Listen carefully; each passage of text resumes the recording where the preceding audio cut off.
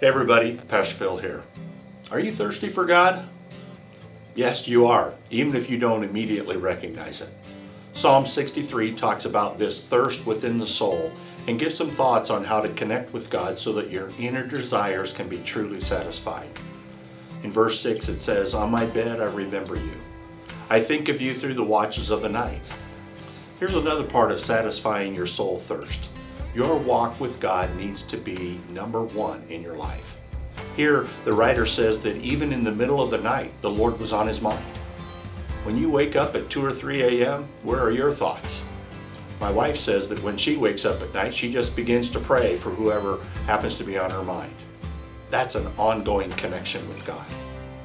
I've had times when I woke and asked the Lord if there was something He wanted to say to me. And here's an interesting point. If we can train ourselves to think this way, God can really connect with us.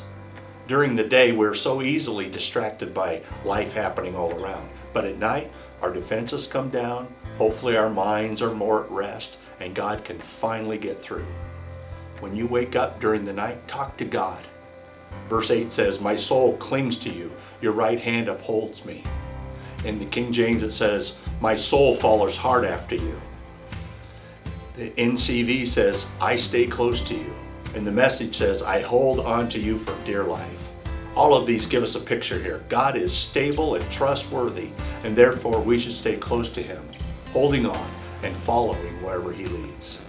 This is an extension of verse 1, which said, Earnestly I seek you. The idea is that wherever God is, is where I want to be. Always remember, you have a real enemy that wants to destroy you. There might be a few people that don't like you, but that's not the enemy I'm talking about. 1 Peter 5.8 says, Be self-controlled and alert. Your enemy, the devil, prowls around like a roaring lion looking for someone to devour. And John 10, 10 says, The thief comes only to steal and kill and destroy. I know it can get wearisome resisting the enemy, but here's the good news. He's going down. Jesus wins. There's another reason to stay close to Him.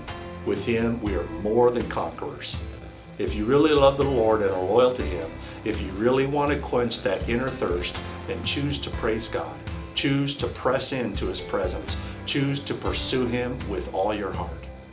There is a soul thirst within that can only be satisfied by God. You can't find real satisfaction in anything else. So go after God.